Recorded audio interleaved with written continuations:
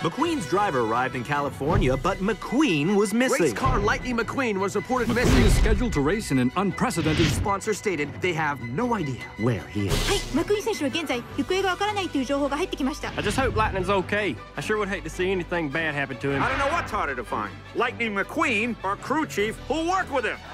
Lightning McQueen must be found at all costs. They are all asking the same question Where is McQueen?